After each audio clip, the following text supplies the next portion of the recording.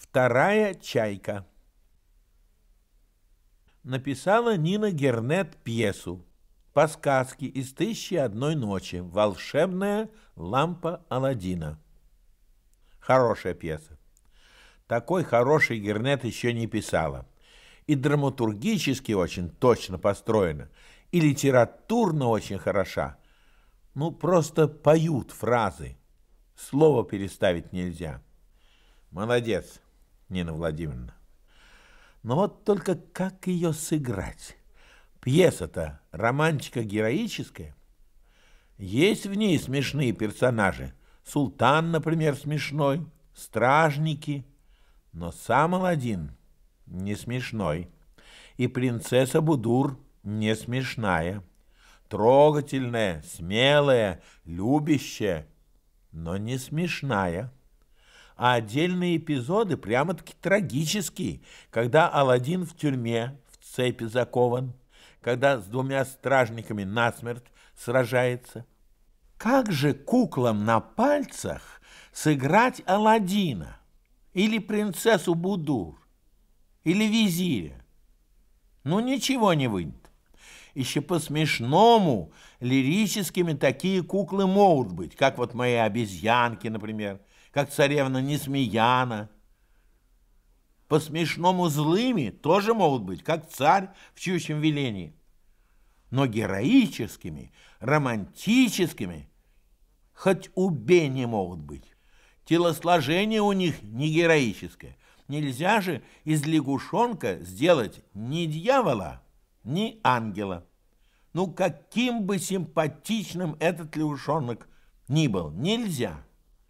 Я очень люблю перчаточных кукол. Они самые живые, самые тонкие актеры, но сыграть ими героику невозможно.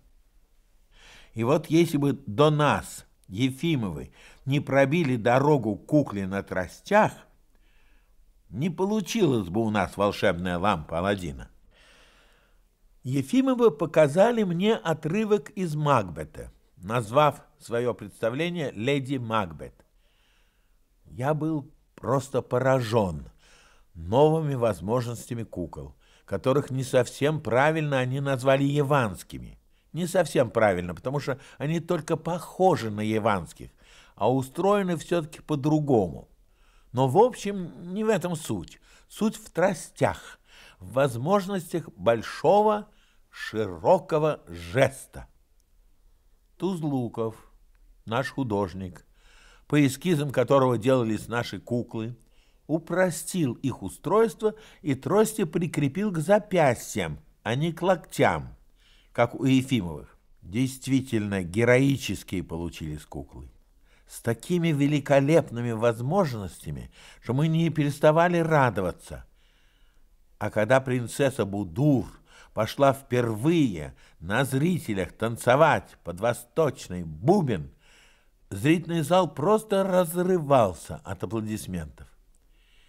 И если Ефимовы открыли дорогу тростевым куклам, то мы своей лампой Аладдина и другими спектаклями, в которых играем куклами этой системы, расширили эту дорогу и заразили ею другие театры, сперва нашей страны, потом Европы, потом и Америки но вряд ли кто-нибудь из работников этих театров знает, откуда пришли к ним тростевые куклы, и тем более вряд ли догадываются благодарить за этот подарок феи Нину Яковлевну Семанович Ефимову.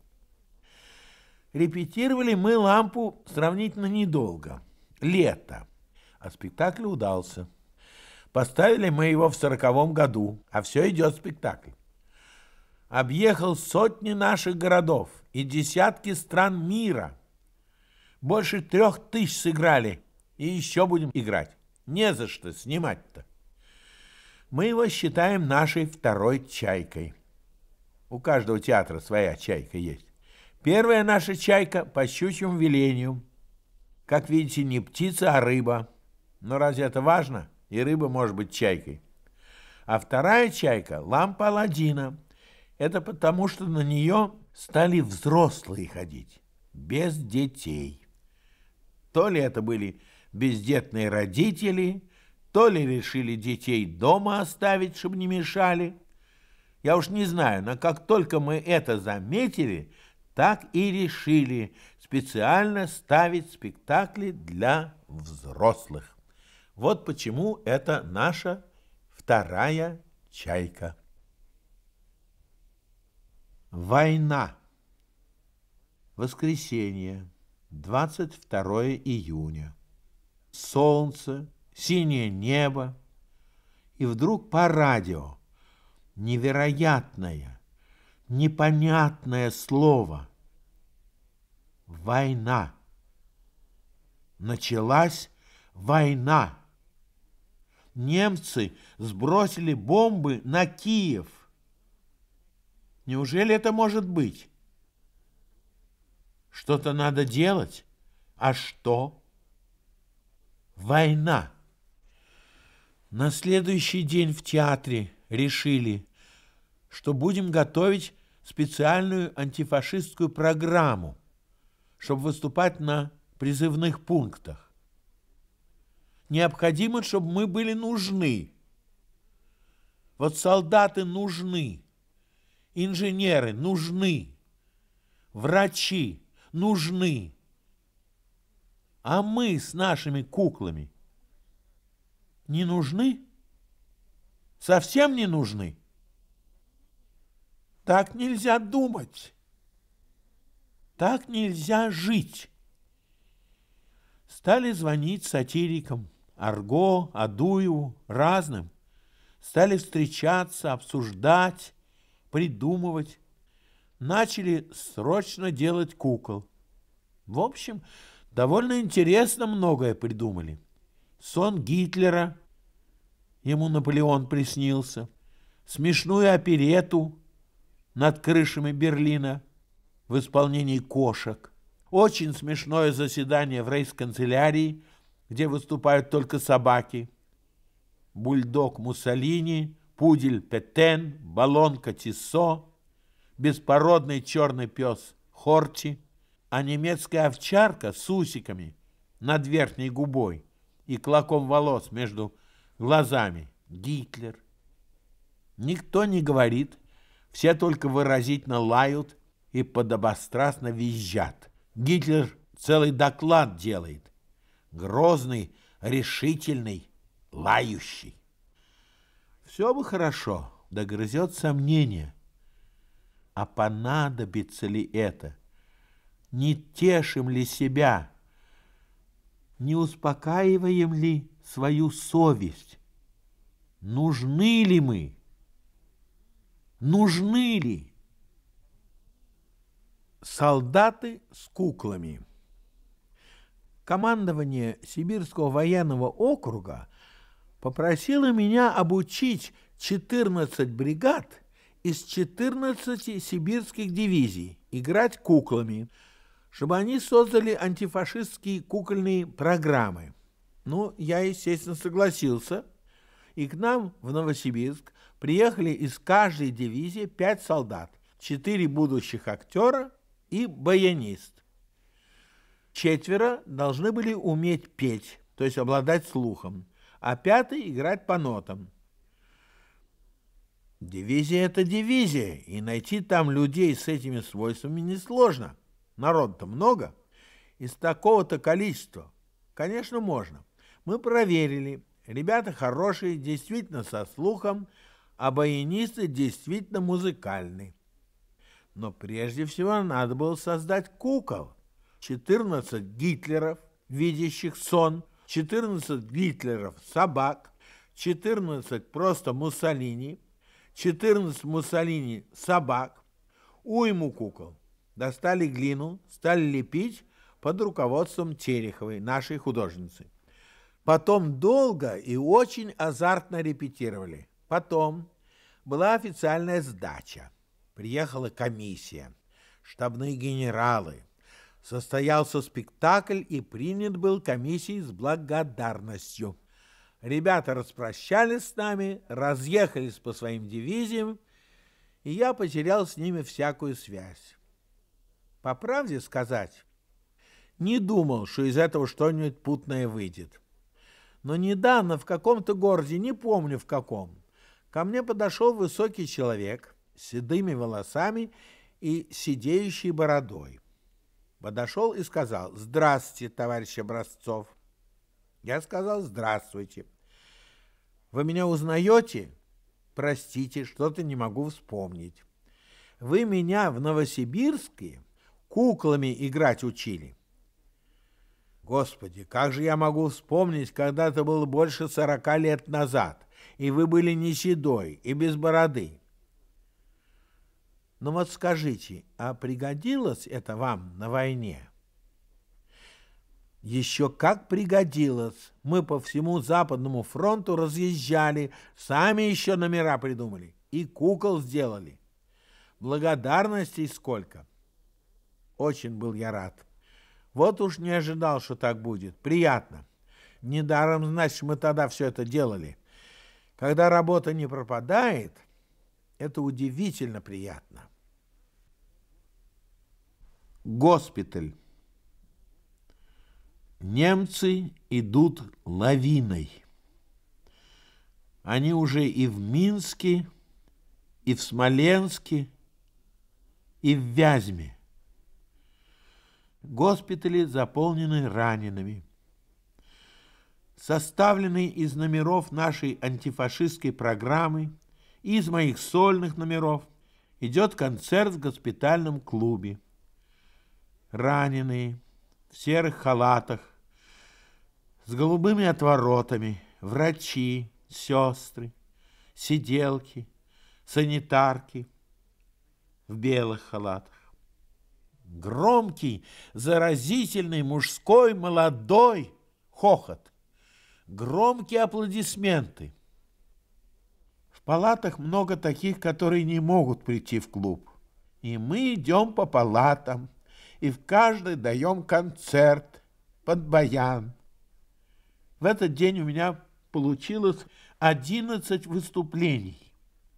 И я пою для них, и показываю кукол, и вижу их живые, веселые лица. Никогда, ни до, ни после этого я не ощущал себя до такой степени нужным. Из тысячи орудий говорит Москва, говорит Москва, работают все радиостанции Советского Союза. Приказ Верховного Главнокомандующего по войскам Красной Армии и военно-морскому флоту.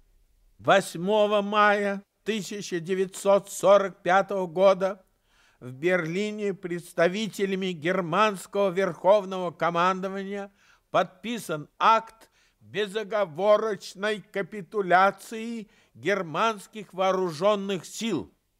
Вознаменование полной победы над Германией сегодня, 9 мая, в День Победы, в 22 часа, столица нашей Родины, Москва, от имени Родины салютует доблестным войскам Красной Армии, кораблям и частям военного морского флота, одержавшим эту блестящую победу тридцатью артиллерийскими залпами из тысячи орудий. Кончилась война. Все москвичи на улицах. А кто не на улице, тот, значит, прилип к окну или на крыше. Я на крыше, на той самой, на которой гасил зажигалки. Вот как событие-то поворачивается. Опять красота, только уже не трагическая, а сверхрадостная, переполняющая тебя до краев. Тридцать раз из тысячи орудий. Как это они умудряются одновременно стрелять? Наверное, по какому-то сигналу. И сейчас же После ахового залпа во всех концах Москвы взлетают снопы фейерверков, трещат, рассеиваются зонтиками, меняют цвета, зеленые, золотые, синие, красные звезды падают на крыши домов, чтобы со следующим залпом опять с треском взлететь, освещая город разноцветием своих огней. Тридцать раз с черными дырками темноты между ними. Здорово и очень радостно. Сердце захватывает. Кончилась война. Необыкновенный концерт. Из Новосибирска привезли с собой поставленного еще там короля оленя Спиранского по пьесе Готцы. Заделали-то мы его еще до войны. Спектакль имеет успех. Спиранский играет Труфальдино. Ну, просто удивительно. Что же будем ставить дальше? Режиссер Виктор Алексеевич Громов, с которым мы вместе ставили «Короля», мечтает о Шекспире, о сне в летнюю ночь. И вся первая группа, трупа у нас на две самостоятельные группы разбита, тоже об этом мечтает. Вообще о романтике, о романтической трагедии. А я совсем об этом не мечтаю. Хочу сегодняшнее. Кто-то сказал, что у классиков надо учиться быть такими же современными, какими они были в свое время. Замечательно сказано. А раз так, то, учась у Шекспира, не обязательно ставить Шекспира. Он же Аристофана не ставил? Если б ставил, не был бы Шекспиром. Хочу учиться быть таким же современным, каким был Чехов. Значит, не буду ставить Чехова. Таким же, каким был Чаплин. Значит, не буду подражать Чаплину. Хочу быть их последователем, а не подражателем. Это разница. Хочу сегодня, хочу смешное, хочу озорную комедию или сатиру. Хочу, чтобы взрослые пришли и сказали, не как это культурно, а вот здорово, смешно и все правда. Хочу, чтобы так сказали. Фронтовая программа раскрыла для меня сатиру. Вот бы ее и продолжить, но уже не на военную тему. Война-то кончилась. На что же сатиру? На штампованных исполнителей сборных концертов. Я эстрадник. Я знаю эстраду наизусть. И конферансье, и чечеточников, и классических певцов, и эстрадное танго, и хоровые ансамбли, и малолетних вундеркиндов, и дрессированных собак, и фокусников. Чуть не каждый день ко мне домой приходит Семен Соломонович Самодур и Зиновий Ефимович Герт. Сидим и выдумываем. Выдумываем номер за номером. А артист и писатель Александр Михайлович Бонди – сочиняет для будущей роли конферансье очень смешные объявления, придуманных нами номеров. Вот, например, колоратурная сопрано Вероника Несмыкальская. Как он придумал ее объявление?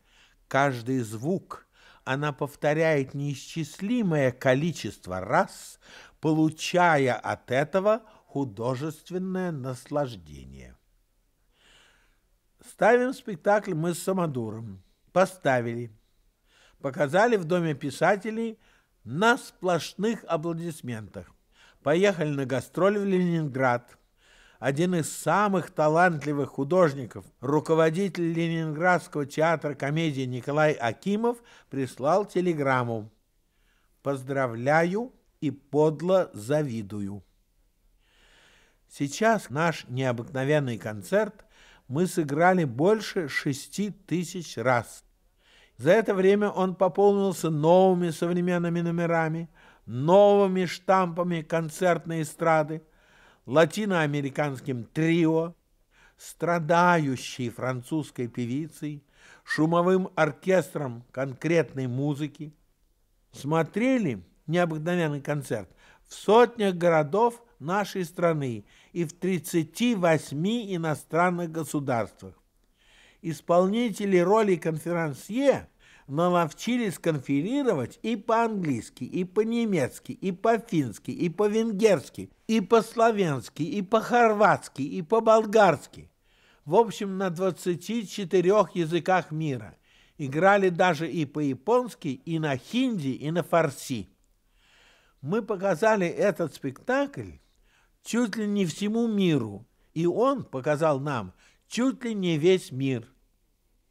А почему это так вышло? Ну вот почему? Потому что он сегодняшний. Чудо на Садовой самотечной. Как мы не радовались нашему новоселью на площади Маяковского, как не считали наш новый дом прямо-таки дворцом, но настало время, когда мы почувствовали, что и тут нам тесно. Некуда складывать декорации, а их уже накопилось порядочно, негде расположиться мастерским. Брожу по Москве, смотрю на разные дома и думаю, какой бы нам дом подошел. Может, этот Особенно подходящим казалось недостроенное здание на Садовой Самотечной. Строилось оно для театра студии Станиславского. Желающих достраивать здание не нашлось. По простой причине. Для профессионального театра оно не годилось. При великолепной сцене 20 метров на 10 очень маленький зал, всего на 500 мест. Нерентабельно. Вот и предложили этот театр нам. Это вот что называется повезло. Зал нам очень хорош, больше не надо. А сцена велика. Ее перегородили по продольной оси, и получилось две сцены, смотрящие в разные стороны. К этой второй сцене спроектировали и построили второй зрительный зал – на 230 мест для детей и второе фойе. Лучше не придумаешь. Днем, когда в малом зале идет детский спектакль, можно репетировать в большом зале. Вечером, когда в большом зале идут спектакли для взрослых, можно репетировать в малом. Сцены-то у них одинаковые – вы просто не можете себе представить, как интересно вместе с архитекторами сочинять театр, а потом вместе со строителями каждый день его строить. Захотелось сделать зрительный зал с раздвижными стенками, и мы его сделали. Захотелось сделать в этих стенках открывающиеся раздвижные окна, чтобы можно было, если захотим, весь зал, всех зрителей окружить куклами. И это сделали. Захотели сделать на фасаде часы с куклами. И на фасаде у нас появились огромные часы, 4 метра на 3. В центре циферблат с золотыми стрелками и золотыми цифрами. Сверху большой петух с золотыми перьями, золотым гребнем и золотой бородкой а вокруг 12 железных домиков с золотым орнаментом. Каждый час бьют часы, поворачивается петух, хлопает крыльями, поет на всю садовую, открывается домик, и из него выходит кукла. А в 12 часов открываются все 12 домиков и выходят все 12 кукол. Медведь, козел, сова, ворона, заяц, лиса, обезьяна, кот, баран, поросенок, коза и волк. Играет музыка в саду в огороде, а куклы танцуют. И хотя театр был готов даже раньше срока, Мы не открывали его, пока не были готовы часы. Я имел тогда юридическое право определять сроки открытия, так как уже больше 20 лет совмещал две должности – директора и главного режиссера. Кукареку. Когда мы поселились на даче, ну, естественно, у нас было новоселье. И подарили нам на это новоселье трех кур и петуха. Вернее, трех курочек и петушка, потому что они были карликовые, вроде игрушечные, бентамки. Это порода такая. А по виду совсем настоящие. Одна, ну, просто курочка-ряба. Другая желтенькая, третья пестрая. А петух прямо классический. Грудь золотая, крылья и хвост зеленый, гребень и борода красные, а сережки белые. Замечательный подарок. В дом уют приносит кошка, а во двор петух. Сразу все становится живым. Ходит петух во дворе, хлопает крыльями и поет. Куры кудахчут, объявляя всему свету, что дело сделано, яйцо готово, принимай, хозяйка. В общем, порядок. А когда мы на нашем театре часы делали, вы уже про это от меня слышали, то оркестровую-то в саду или в огороде на пленку записали, чтобы каждый час музыка играла. Значит, и золотому петуху в клюв тоже нужно пение вложить. И вот тройное кукареку на пленку записать. Ну, я взял на дачу магнитофон и записал нашего петушка. Не сразу получилось. По приказу он не поет, надо было подлавливать. Ну, в общем, вышло. И запел золотой петух на часах голосом моего бентамкинского петушка. На всю садовую запел. С тех пор прошло много лет, давно уже нет на свете моего петушка, а он все поет и поет на часах театра каждый день, каждый час. А дальше вот что произошло. Телевидение – сняла наш необыкновенный концерт. И начинается этот телефильм с показа часов и пения золотого петуха. На даче у нас телевизор, а в саду ходит другой петух с другими курами. Красивый, большой, с бронзовыми крыльями. Вечер. Куры с петухом давно спят в курятнике, а я уселся перед телевизором Сейчас начнется передача нашего необыкновенного концерта. Началась. На экране наши часы. Повернулся золотой петух, замахал крыльями, вытянул шею, кукареку. Э-э-э! И вдруг сквозь открытую балконную дверь слышу э-э-э! Этот теперешний-то петух из моего курятника отвечает – Золотой петух еще раз. Э -э -э! И опять мой в ответ. Э -э -э! Кому же он отвечает? Золотому? Нет, не ему, а тому, чьим голосом золотой поет. Тому маленькому, которого давно уже на свете-то нет тому, который жил в том самом курятнике, из которого теперешний с ним на расстоянии 15 лет перекликается. Вот говорят, будто чудес не бывает. Бывает, оказывается. Да к тому же наверняка в этой петушиной перекличке еще и другие петухи участвуют. Вот и идет перекличка петухов по всей стране. Только мы об этом не догадываемся, а жаль. Есть в этом что-то не просто удивительное, а еще и трогательное.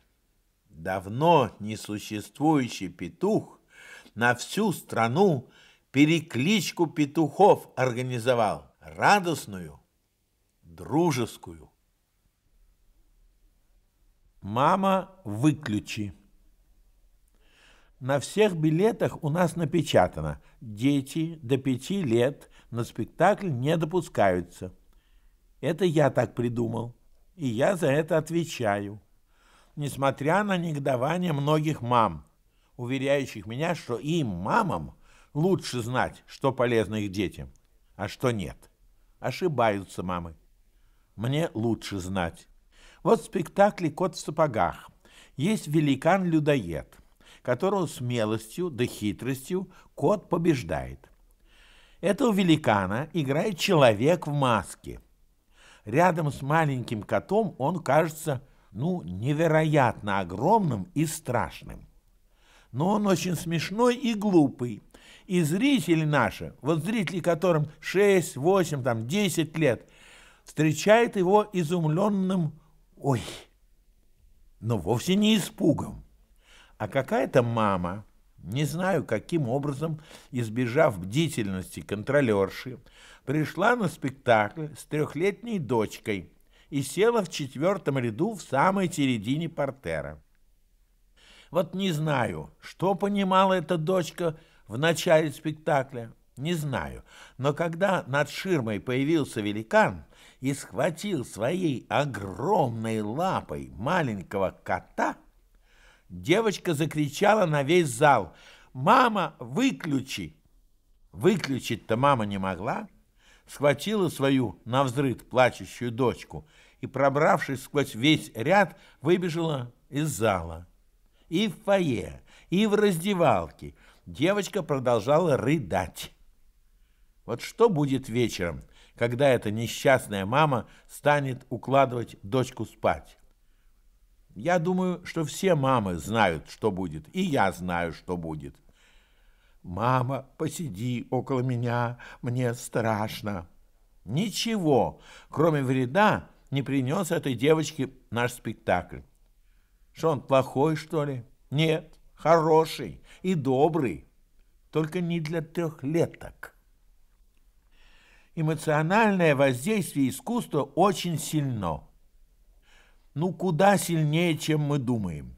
И обращаться с ним надо осторожно, очень осторожно. Это должен знать каждый, создающий произведение искусства. Кому и зачем.